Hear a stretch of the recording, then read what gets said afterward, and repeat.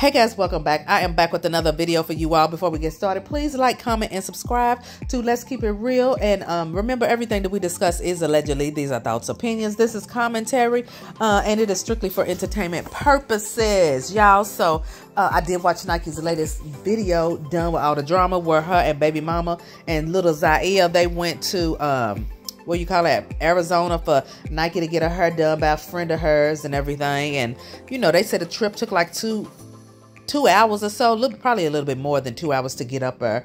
And uh, what I wanted to kind of get in a little bit further and discuss was, did y'all see how baby mama uh, was acting when, when Nikee got around that girl? Nikee was, you know, she was cool and free flowing with the girl and laughing and joking and jokes was being thrown and everything.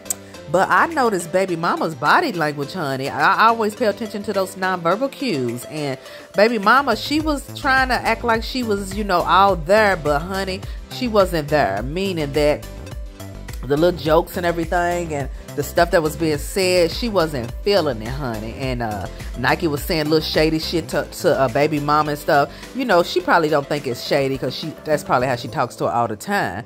But uh, you could tell baby mama she just wasn't feeling it, y'all. And she was just kind of standoffish. But uh, so did y'all see that food that they was eating? I, I, didn't know they had no. I'm not gonna lie. I didn't know they had no soul food restaurants in no Arizona. I would have never expected that. But that fish and those uh, sweet potatoes and the fish and the sweet potatoes, child, I would have been grubbing down. But uh, yeah, so when they was leaving the little place and they was walking in the parking garage, I believe and uh, the girl was shooting little jokes and stuff, and then Nikee said little stuff. I said, I don't know what it is with baby mama. I don't know if that's just how she is, if she clams up when other people around Nikee, or was she really offended by some of the things that was being said. I'm not really sure. I was trying to, you know, get more of a feel for, but in that little bit of time, you're just not gonna get enough uh, information to be able to make to be able to make a total assessment on the situation. But what do y'all think, y'all? Do y'all think it was because of that girl? Was around and shooting jokes and shit and then Nikee shooting jokes or do you think that baby mama just wanting people that when she get around other people that are around Nikee and, and, taking Nikee's attention, maybe she don't like it and so she just becomes standoffish? What, what y'all think below? Because like I said, it wasn't enough time for me to look at the situation and get, be able to get a full picture. I would, you know, you a person would have to be there and be around the entire time to get a better feel. But uh, I do know it was some kind of uncomfortableness. I do know that. I can't say that much at least. But as to the true you know, the true situation at, at hand was the baby mama just kind of, you know, standoffish because she, you know, she used to have a Nikee to herself, or in fact, was she mad because the girl was saying little shit and Nikee was saying little shit to her, and they was all they was both laughing and everything. Let me know what you think in the comments below, because child, inquired minds would like to know, and I'm one of them.